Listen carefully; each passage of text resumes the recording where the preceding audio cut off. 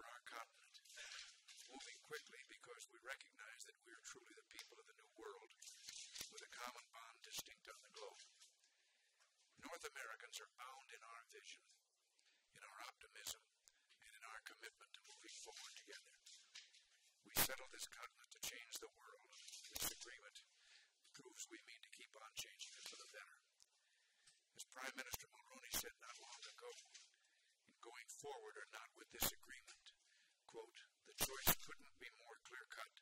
The voices of the past against a vision of the future. Well, eight years ago, when I put myself before the American people as a candidate for this office, I said that I wanted to lead the United States into a new relationship of cooperation and contact among the peoples of this continent. This free trade agreement is the cornerstone for that North American Accord, that new era of growth, opportunity, and friendship on our continent. The reason for the free trade agreement is simple. Throughout North American history, whenever and wherever trade barriers have been lowered, we've seen our economies bloom like mountain meadows after spring rain. And this agreement is the sun rising on a new morning of economic vitality for the United States and Canada. It'll produce vast numbers of new jobs and new opportunities on both sides of the border. It'll save U.S. consumers up to $3 billion a year. It'll help keep the North American economy growing for a generation to come. And yet, in a broader sense, the free trade agreement is a case of governments rushing to catch up with their peoples.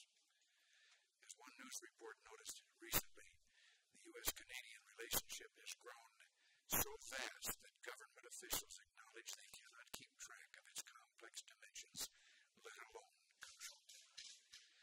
Yes, our borders, well, all borders should be a meeting place, not a dividing line. And one sign of that is that North Americans cross it about 75 million times a year. There's one more, or there's more trade, I should say, between the United States and Canada than any other two countries in the world. Where there's more U.S. trade with Ontario alone than between most nations. What the U.S. Canada agreement accomplishes on a bilateral basis is a tremendous example of what we can ultimately and ultimately must achieve multilaterally. Canadians and Americans take pride in having the longest unguarded border, which stands as a model for the free world.